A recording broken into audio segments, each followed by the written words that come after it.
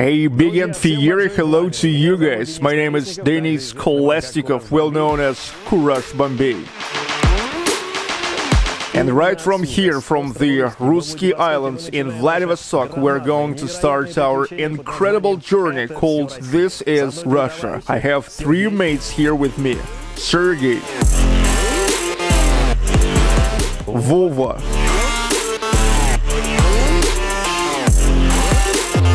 and Boris. And altogether, we will go through 10,000 kilometers, 8 time zones, and almost 30 cities and towns. Follow our journey here on YouTube channel called Kuraj Bambey. This is all Russia.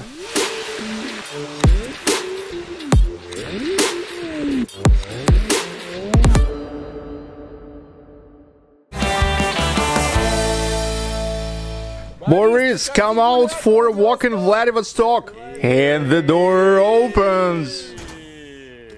The hookah. Hey, why do we need hookah, Boris? What do you mean, why? In a words, we're starting the journey. Four men are going to stay in one car for 30 days. Okay, let's go. Pack this stuff.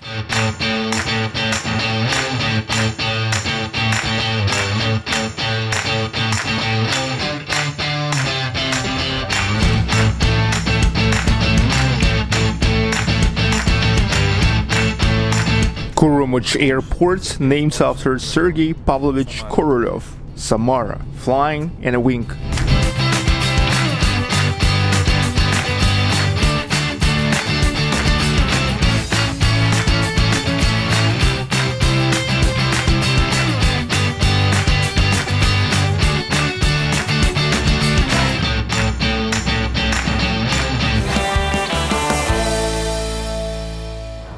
Hey, we are now on the roof of our general partner Dodo Pizza's headquarters in Moscow. Can't say that our journey starts right from here, but this is a point we couldn't miss because it's vastly interesting to look at the workflow in not just a pizzeria, but in its headquarters.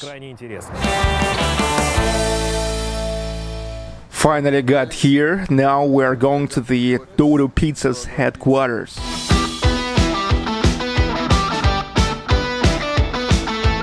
Be ready. I'm ready.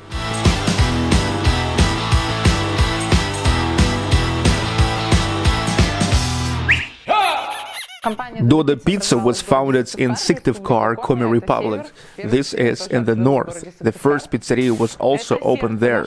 This is the heart of our office. This is the R&D lab where guys test new ingredients, new equipment and uh, create new recipes.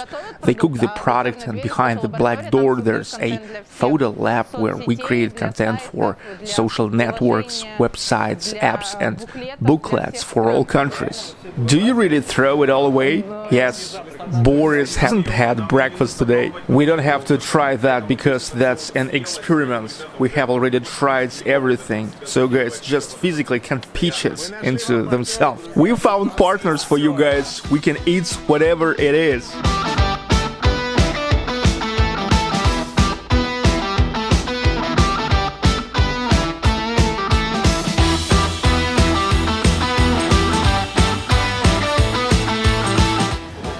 This is the photo lab.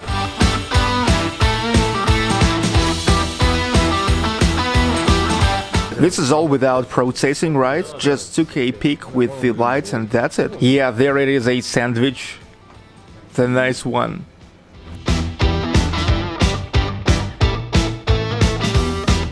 Thank you guys, have a good day.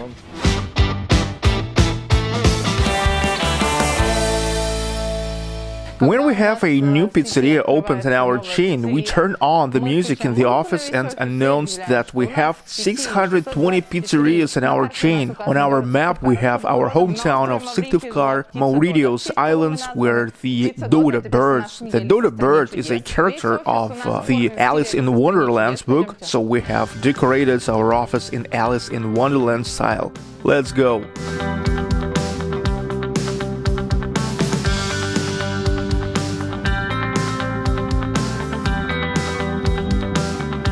The coffee lab. Here we have the window to Syktyvkar.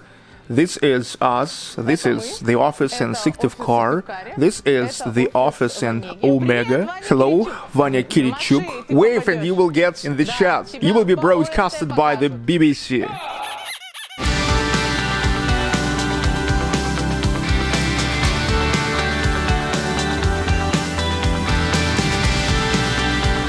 The main metric screen of our information system. Here we can monitor the number of orders per minute in the whole country and bugs in landing pages. The engineering team monitors all the indicators. In the place where pizza is cooked is a huge tip with all pizza recipes.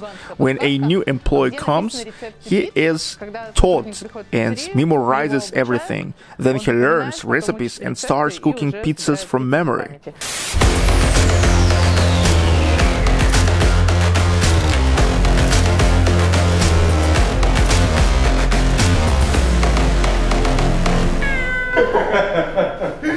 well, they are a creative team. Okay guys, I think you all are interested in camera gear that we took with us. Panasonic GH5 batteries, two action cameras, Sony 300R with uh, screens like this, a monopods, a tripods, a car cigarettes lighter splitter, a GSM rotor, radio clip mics, aperture panel. No doubt we took our Mavic Pro 2, kinda like this. In case we are lack something, hopefully we will be able to rent it in a big cities like Novosibirsk, but actually it seems we are packed to shoot a serious project. This is Russia!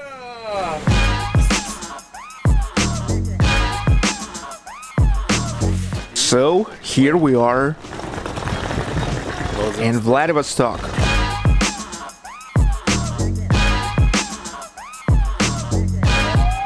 Let's begin.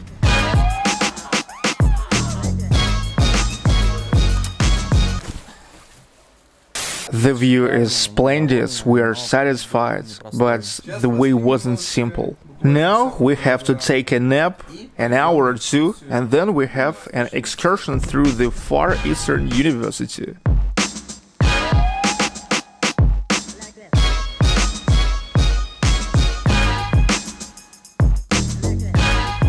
These are all administrative buildings. The rector's office is on the ninth floor. There we also have our own television studio. About 36,000 people live and work here on the campus. Those first five staircase-like buildings are accommodation buildings, so travelers can also live here. They are all needs. Uh, they have them renovated every year. Yeah, the feature is that here are the best conditions in the campus in the whole Russia. Yeah, here you can both go for a walk or for a swim. Is that your own beach right there? Yes, and now you can get there only with the pass, so students from other cities and countries who live here have a luxurious life. They collect oysters and sea urchins after the storm and then bake them in their apartments. Do you know if there's a place like this somewhere in the country? No, it's the biggest and most modern campus in Russia. So this is a Russky Islands, Vladivostok City, Far Eastern Federal Primorsky, isn't it? University, Primorsky, Amur, Siberian Tigerish, Shrimpish. Екатерина, Екатерина, Katya, Katyusha. Ah, that's too much. What faults live here?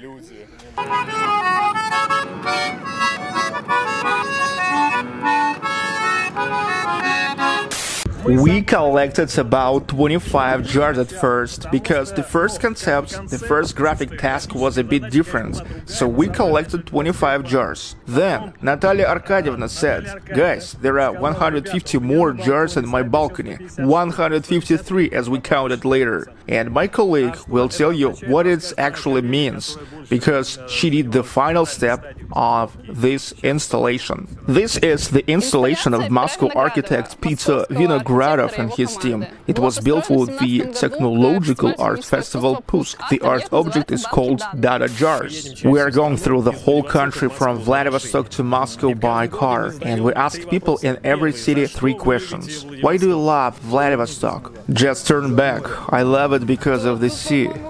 Sea, hills, Japanese cars, I like positive and kind people here, the atmosphere itself and the city is beautiful. You can get a kick out of it, right? The nature here is really fascinating, this river, this bridge, and uh, I do like the architecture, the salt smell in the air, and many sights. And does Vladivostok have any negatives? The first summer half is always rainy and foggy, hard traffic. It's extremely hard for newcomers to move around for at least uh, two weeks. Traffic jams, nothing negative, everything is okay. It's remote location. That's the only thing, right? Yes? If you had an opportunity to choose any city or town in Russia to go to, which city would it be? I really like it here. I don't want to go anywhere. The Caucasus. Where exactly?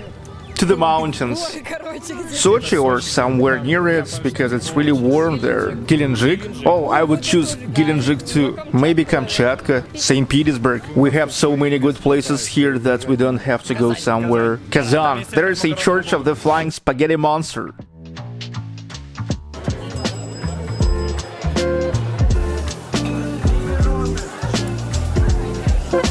Khachapuri was created in a Georgian city full of sailors. Their wives were really missing them and decided to make a dish that kept all their love and care for their husbands. And they invented Adjarian Khachapuri.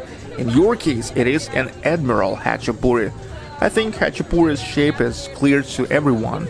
It symbolizes the shape of the boat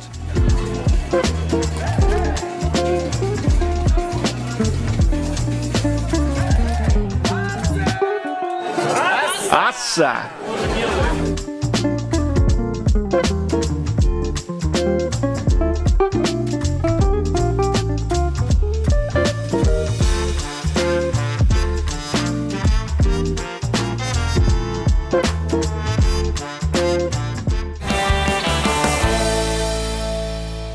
I always say to everyone at events and forums, please come to me for a visit. I'll give you crabs, caviar, nobody calls and nobody comes. Since 2012, Vladivostok has become a serious business center. It has the character of a serious city. It was founded by entrepreneurs and military men, and it has generally remained like this. About 90% of cars are Japanese right-hand drive. I have visited 100 countries all around the world, and it's the first time I saw in one of Russian regions a uh, restaurant that has a real queue at the entrance. How did you manage to create such a restaurant that people want to get into?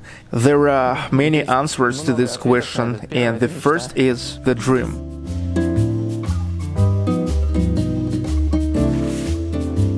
When I was building this restaurant, I was in Korea at the moment, and I went to the place with many identical restaurants, and only one of them has a queue at the entrance. I asked them why they were standing there, and people said, It seems that there's tasty food in this restaurant. When I came back, we decided not to book places.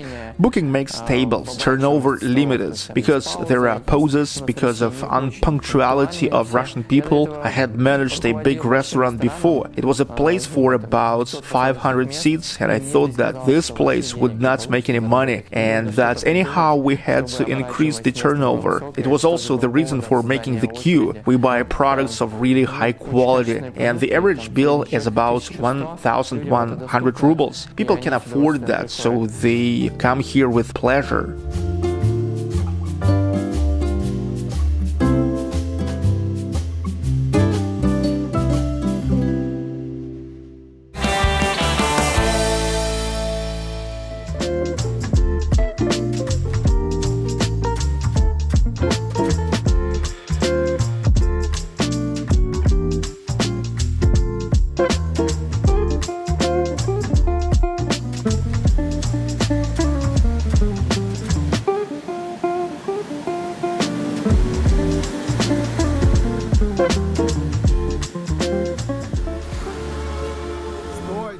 Wait, Denis! Water is rising! Stop it! Come back! Don't do that!